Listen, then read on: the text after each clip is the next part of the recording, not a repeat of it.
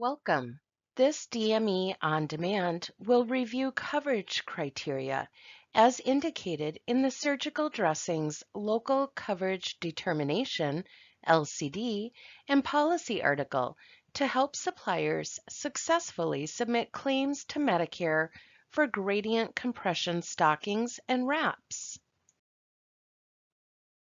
The information given in this training is correct as of April 2024. The most current information related to this topic can be found on the Noridian Medicare website and the CMS website at the links listed on this slide.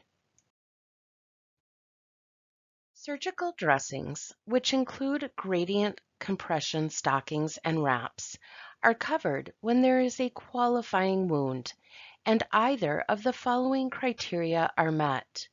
The dressing is required for the treatment of a wound caused by or treated by a surgical procedure, or the dressing is required after debridement of a wound.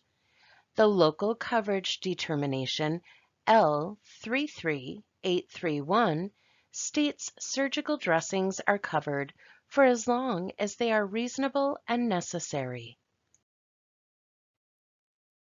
Gradient compression stockings and wraps are covered when used in the treatment of an open venous stasis ulcer that has been treated by a physician or other healthcare professional Gradient compression stockings and wraps are non-covered for the following conditions.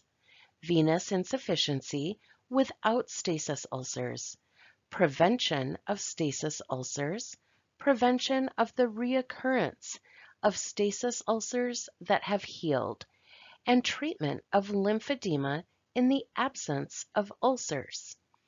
In these situations, since there is no ulcer, the stockings or wraps do not meet the definition of a surgical dressing. Gradient compression stockings described by codes A6530, A6533 through A6544, and A6549 are not covered under the surgical dressing benefit because they do not meet the statutory definition of a dressing. However, they may be considered for coverage under the lymphedema compression treatment items benefit.